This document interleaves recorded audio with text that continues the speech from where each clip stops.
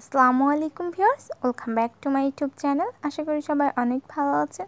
তো আজকের ভিডিওতে আমি কোরআন শরীফের কভার তৈরি করে দেখাবো। তো আশা করছি ভিডিওটি আপনারা সম্পূর্ণ মনোযোগ সহকারে দেখবেন। তাহলে কভার তৈরি একেবারেই সহজ হয়ে যাবে আপনাদের কাছে। তো এখানে আমি নয় গিরা পরিমাণের কাপড় নিয়ে নিয়েছি এই কোরআন শরীফটা তৈরি করার জন্য। আর আপনারা যদি এই সাইজের, এই ছোট কোরআন শরীফের কভার তৈরি করতে চান, তাহলে সেক্ষেত্রে হাফ গজ পরিমাণের কাপড় নিলেই দুইটা কভার তৈরি হয়ে যাবে। তো আমি এখন কোরআন শরীফের মাপটা কীভাবে নেবেন সেটা দেখিয়ে দিচ্ছি। তো এখান থেকে ধরে এই পর্যন্ত, এই যে এই পর্যন্ত কোরআন শরীফের মাপটা নিতে হবে এভাবে করে। তো এখানে আছে পনেরো ইঞ্চি, তো এক ইঞ্চি তার থেকে আপনারা লুজ নেবেন। ঠিক আছে? তো এইভাবে করলে দুইটা কভার হয়ে যাবে। যদি এইটার সাইজে করেন, তা আমি এখন বড় সাইজটা তৈরি করে দেখাবো। বড় এই কোরআন শরীফটার কভার তৈরি করে দেখাবো। তো এইটার মাপ নিয়ে নিচ্ছি। তো এটাও এখান থেকে একইভাবে ধরে এই পর্যন্ত আনতে হবে। তো এটা আছে হচ্ছে সাড়ে সতেরো ইঞ্চি। তো এখানে আমি এক ইঞ্চি এক্সট্রা নিব। তো আমি এখানে রাখব হচ্ছে সাড়ে আঠারো ইঞ্চি। ঠিক আছে? তো আমি এখন এটার কভার তৈরি করে দেখাচ্ছি। তো এখানে নয় গিরা পরিমাণের কাপড় আছে, আগেই বলেছি। তো এই কাপড়টাকে প্রথমে আমি সারিয়ে নিচ্ছি। এটা এক ভাঁজ করে ছাড়িয়ে নিচ্ছি। আপনারা চাইলে ডাবল পাট করে নিতে পারেন যদি ডাবল পাট করে তৈরি করতে চান। তো এখান থেকে লম্বার মাপটা নিতে হবে। এটা কিন্তু সম্পূর্ণ এক পাটে আছে। তো আর সাড়ে আঠারো নিলাম। এখান থেকেও একইভাবে লম্বার মাপটা নিব হচ্ছে সাড়ে আঠারো ইঞ্চি। এবং এখান থেকে ধরো সাড়ে আঠারো ইঞ্চি। মোট কথা চারোদিকেই সমান নিতে হবে। চারোদিকেই সাড়ে আঠারো ইঞ্চি নিতে হবে। আপনাদের কোরআন শরীফের মাপ যত আসবে, ততই চারিদিকে নেবেন। তো এভাবে করে আমি একটা বক্স তৈরি করে নিচ্ছি মার্ক করে। তো দেখতে পাচ্ছেন, এটার কিন্তু চারোদিকেই সাড়ে আঠারো করে আছে। এই যে।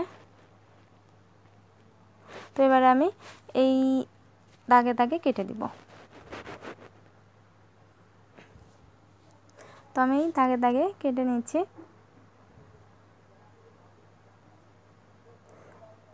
এই তো এবারে ফিতা কাটিং করতে হবে। তো এই যে এক্সট্রা যে কাপড়টা থাকবে, এখান থেকে ফিতা কেটে নিতে পারবেন। তো এই তো, আমার কিন্তু কোরআন শরীফের কভার কাটিং করা হয়ে গিয়েছে। এবার আমি একটু দেখিয়ে দিচ্ছি এটা কীভাবে হবে। তো কোরআন শরীফটাকে এভাবে একটা কোনায় এভাবে রাখতে হবে, যে কোনো একটা কোনায় তারপরে এভাবে করে দিয়ে জয়েন দিতে হবে। এই সাইড থেকে নিলাম। এবারে আবার এই সাইড থেকে এভাবে নিয়ে এগুলো সেলাই করে দিতে হবে। এই কোনায় একটু, দুই কোনায় একটু চিহ্ন দিয়ে রাখতে হবে। এইখানটায় আর এই সাইডে তো এটা এইভাবে হবে। তো আপনারা চাইলে এইভাবে কেঁচির সাহায্যে মার্ক না করেও চক দিয়ে চিহ্ন করে রাখতে পারেন। তো আমি চক দিয়ে চিহ্ন করে দেখিয়ে দিচ্ছি। এই কোনায় চিহ্ন করে রাখলাম, দুই কোনায় তো এরকম করলে সেলাইয়ের সময় খুব সুবিধা হয়। সহজেই ধরা যায় কোন দিক থেকে করবেন। আর এই সাইড দিয়ে এইভাবে মুড়িয়ে একদম এই পর্যন্ত সেলাই করে দিতে হবে। তো তারপরে এভাবে ফিতা লাগিয়ে নিতে হবে। তো চলুন এখন সেলাই করে দেখিয়ে দিচ্ছি।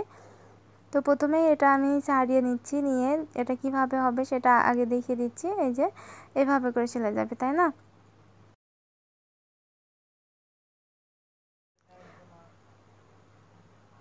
তো এখান থেকে ধরে হচ্ছে সেলাই করে যেতে হবে মুড়িয়ে কোনা পর্যন্ত।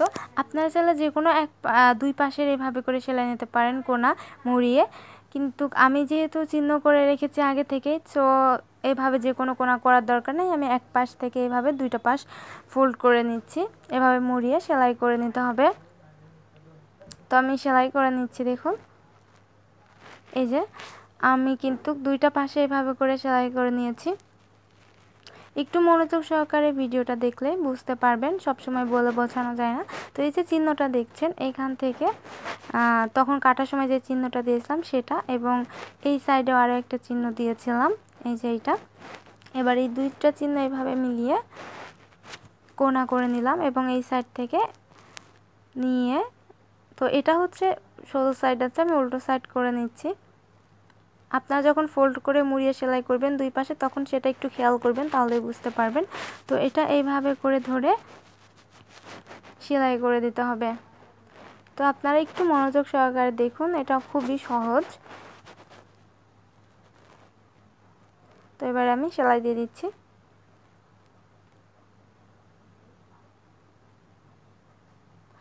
আর যারা এখনও আমার চ্যানেলটিকে সাবস্ক্রাইব করেনি, তারা অবশ্যই আমার চ্যানেলটিকে সাবস্ক্রাইব করে পাশে থাকা বেল আইকনটি ক্লিক করে রাখবেন পরবর্তী ভিডিওগুলো নোটিফিকেশন পেতে।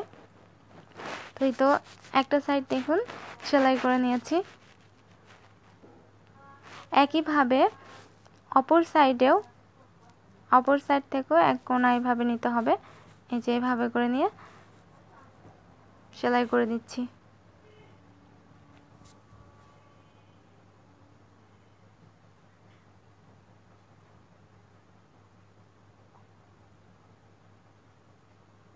তো এই তো, এই পাশটাও দেখুন সেলাই করা হয়ে গিয়েছে।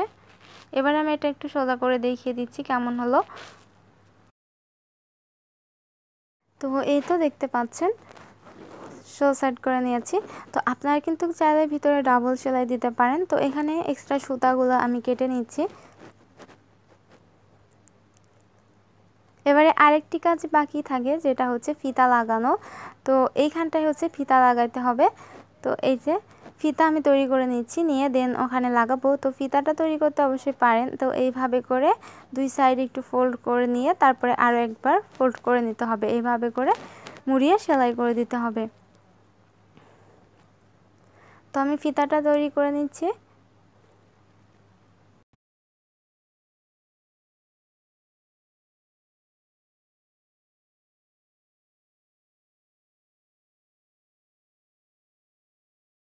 তো এই তো আমি হচ্ছে ফিতা তৈরি করে নিলাম। এবারে এটা কভারের সঙ্গে অ্যাটাচ করব। তো এই জন্য এখানে এইভাবে করে রাখতে হবে। ভিতরের সাইডে কিন্তু ফিতাটা রেখে দেন আমি সেলাই দিচ্ছি। যাতে করে যখন কোরআনে কভারটা দিব বাঁধার সময় উপরে শুধু সেলাইটাই দেখা যাবে। ফিতার কোনাটা দেখা যাবে না। তো এই তো লাগিয়ে নিয়েছি।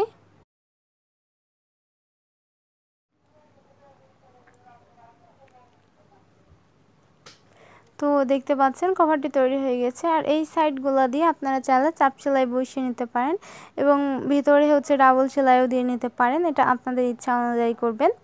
তো এরই সঙ্গে দেখুন ক্রনশেপের কভারটিও সুন্দরভাবে তৈরি হয়ে গিয়েছে।